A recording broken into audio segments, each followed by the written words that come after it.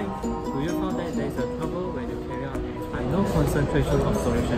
One of the methods to determine the concentration of solution is by using the method of titration.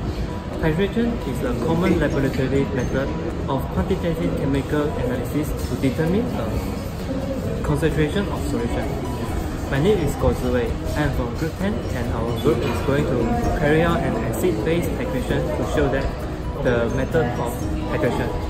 In our test, we are going to use 25 centimeter cube of acid as an unknown concentration solution and uh, two molarity of sodium hydroxide solution in excess. Okay. Hey, my name is Julie Chew Janice and I introduce all the apparatus used in the experiment. This is the polygon glass, this is a beaker, burette,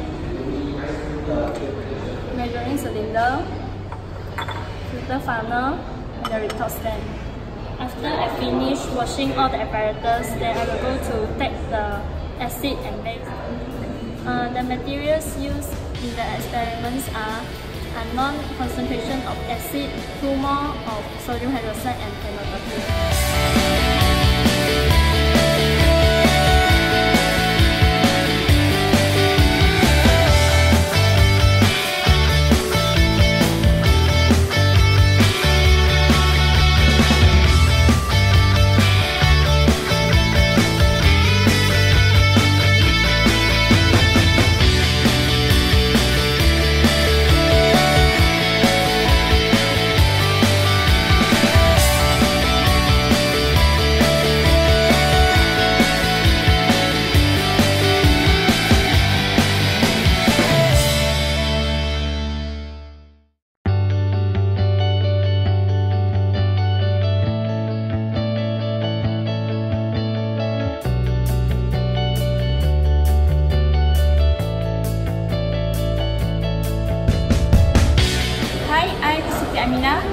I'm gonna set up the experiment of titration.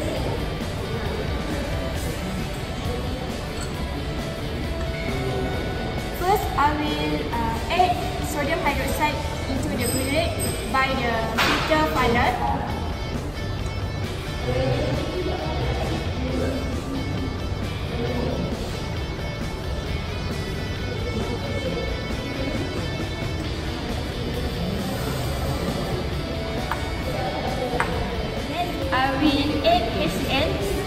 The measuring cylinder, about 225 ml.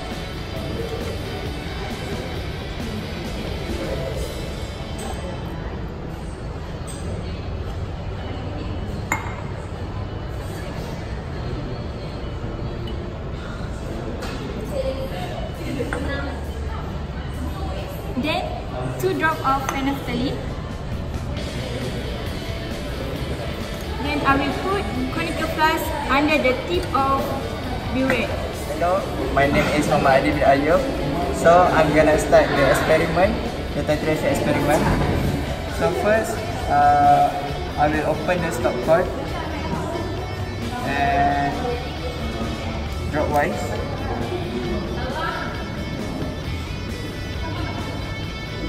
And I will swirl it until we get the pale pink color.